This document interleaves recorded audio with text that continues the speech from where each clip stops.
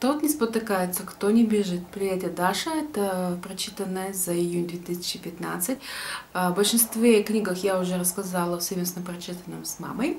А, и теперь речь пойдет о единоличном прочитанном.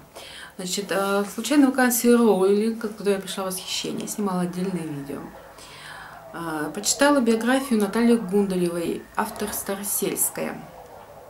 Это не биография Гундаревой, это сборник цитат из других книг, посвященной э, актрисе, газет и интервью. Причем она вот даже говорит, пишет, приведу вам небольшое интервью. А нет, приведу вам несколько строк там из интервью такого-то. И дальше на пять страниц. Сидишь и думаешь, если это не кусочек маленький интервью, то какого уже она как полностью. То есть у меня очень печально остались впечатления от этой книги. И сама Старосельская, по-моему, написала только предисловие и послесловие. Ну, там, в конце немножечко все остальное почти сплошь, ну, 80% это сплошь цитаты из других книг, и я не понимаю, зачем это надо было делать. Так, также прочитала Айра Левин, «Ребенок Розмари», первая часть, и еще «Сын Розмари», это продолжение. Вот что я хочу сказать. Э, в принципе, неплохо, с натяжечкой, но очень-очень предсказуемо. Я каждый следующий шаг знала, что будет происходить. Книга написана в законе жанра, почему-то подразумевается, что это что-то вроде ужасов, но это для меня, меня просто очень сложно впечатлить в этом плане, поэтому делайте на это скидку. Э, что касается второй части «Ребенок Розмари», если вы прочитали первую и вам понравилось, не читайте вторую. И если вы прочитали первую, вы остались к ней равнодушным, как я, то можете прочитать вторую. Там концовка вау.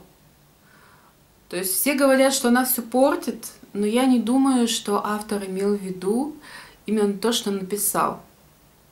Я думаю, там концовка концовки. Там нужно понять, что это наоборот, это не так, как там написано.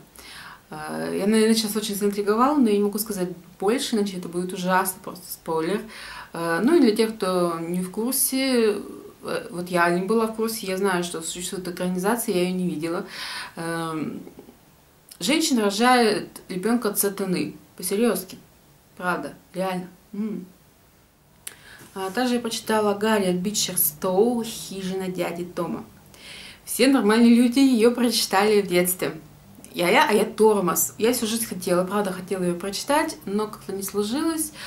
А тут я на днях пересматривала фильм «Анны Король», и где э, Анна выступает в роли учительницы, учит э, принца, сына короля, и дает ему читать эту книгу, и в общем, что-то слишком много воды я тут развела. Мне кажется, все знают, что это книга про рабство в Америке, вот тех времен, когда там война, север-юг. А, книга очень впечатляющая, она трогает за живое. В конце Мяру дало.